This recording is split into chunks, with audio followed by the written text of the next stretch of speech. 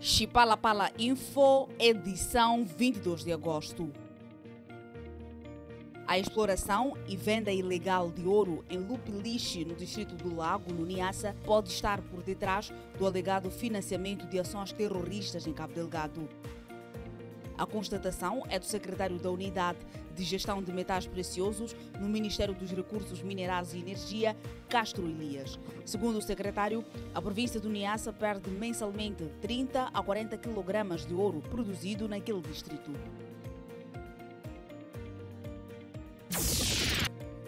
Um grupo de seis elefantes encontra-se em circulação na zona de Picoco, distrito de Poane, na província de Maputo, desde o último domingo. A Administração Nacional das Áreas de Conservação desencadeou de imediato ações com vista a monitorar o movimento dos animais, pois estes constituem perigo à vida dos homens.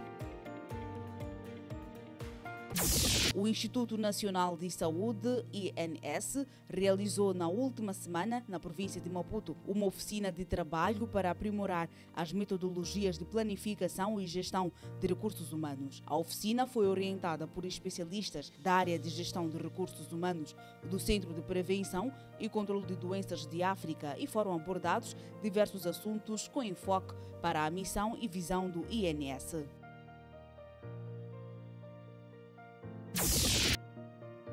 Sabia que a criança com deficiência mental também pode aprender? Às vezes, as pessoas acham que educar uma criança com deficiência é um desperdício.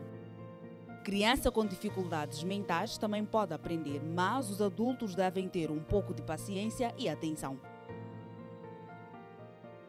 Os pais podem observar a criança para ver o que mais lhe interessa e o que a criança mais gosta de fazer. A seguir, podem usar os interesses da criança para ajudá-la a aprender. Por exemplo, se observar que a criança gosta de ouvir e responder às vozes das pessoas, os pais podem sempre conversar com ela, ensinando o nome das pessoas e coisas à volta.